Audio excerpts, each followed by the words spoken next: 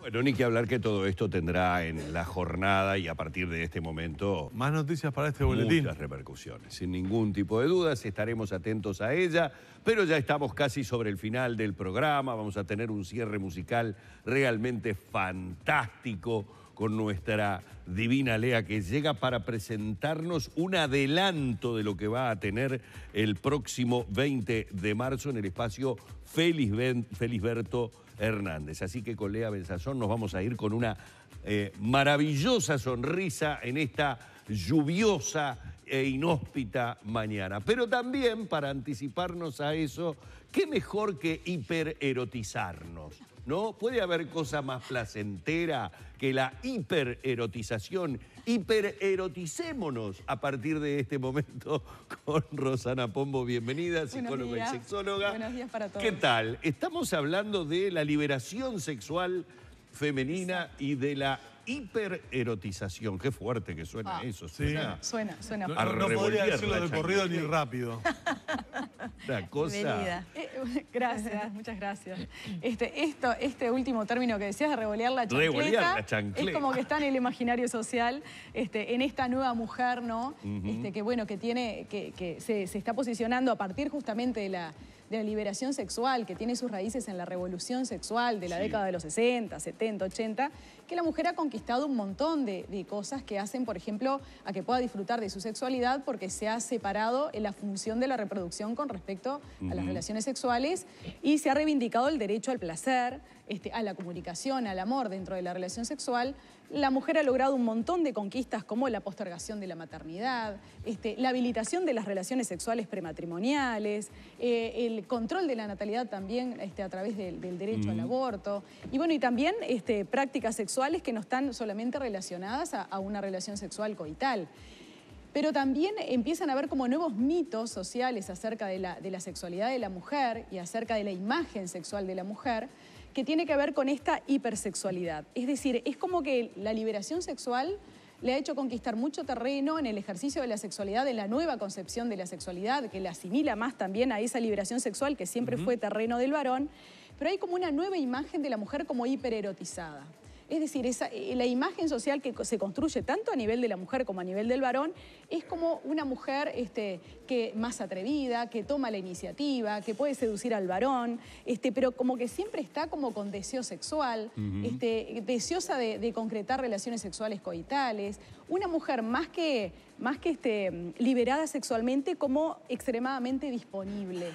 Extremadamente disponible. ¿Eso lo Suena- construye la propia mujer con esa liberación que tú mencionás o es un- una resignificación de otras prácticas machistas que ya existían desde Exactamente, antes? sí, es como una nueva concepción que tiene sus bases en raíces machistas, es decir, eh, qué mejor para el varón que la mujer se sienta mucho más liberada, eh, que sepa lo que le gusta, que sepa este, cómo comportarse sexualmente para su propio placer y el placer del otro también, pero en realidad esto coincide con lo que vemos en la clínica, esta concepción de que la mujer se siente más liberada y que puede ser este, más autónoma, como decíamos, conquistar al varón, seducirlo, ya no tiene problemas en tener relaciones en la primera cita, es una construcción social que es del varón y la mujer también y que tiene sus raíces también en el patriarcado porque, ¿qué pasa? Esta hipererotización tiene que ver más que nada con darle placer al varón.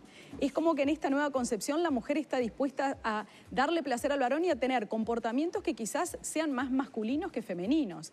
Es decir, cuando la mujer, por ejemplo, toma la iniciativa y quizás no tenga problemas en tener una primera relación sexual en una primera cita, quizás el varón lo que busca es más el placer. No decimos que esto es general en todas las mujeres, pero vemos en la clínica un grupo bastante numeroso de mujeres que en realidad esa, esta, como esta liberación o libertad sexual Sí. vendría de la mano también con esperar otras cosas que tienen que ver con la construcción de un vínculo efectivo que el varón quizás no lo espera. Claro, lo bueno es que hay como una aceptación de una, y una legitimación de Sí. todo eso.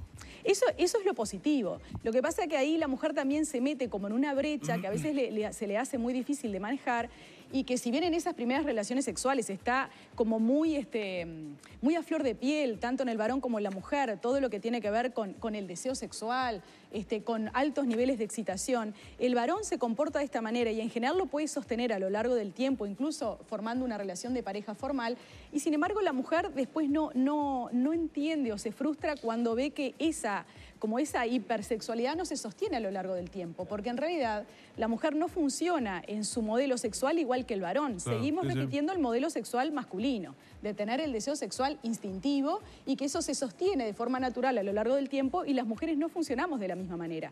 En eso tenemos que seguirnos pensando y tenemos que seguirlo revisando, porque justamente en, este, en esta hipererotización, en realidad la mujer seguimos viéndolo en la clínica, que le falta mucha información y mucho autoconocimiento de qué es lo que a ella la predispone, qué es lo que apaga su libido sexual, cómo es su personalidad sexual, qué es lo que ella necesita y seguimos como al servicio de lo que el varón necesita y tratando de imitar la conducta sexual del varón y cuando no tenemos satisfacción sexual no entendemos qué es lo que nos sucede.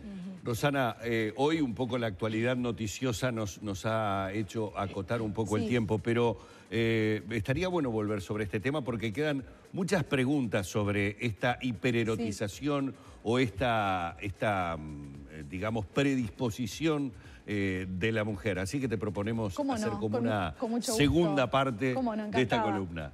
Muchísimas gracias. Rosana Pombo, psicóloga y sexóloga, esta mañana junto a nosotros hablándonos, bueno, de algo que ya en realidad hace años se hablaba en un viejo bolero que decía, una mujer debe ser soñadora, coqueta y ardiente, debe darse al amor con frenético ardor para ser una mujer. Anda. Y si quieren se la acaba. ya.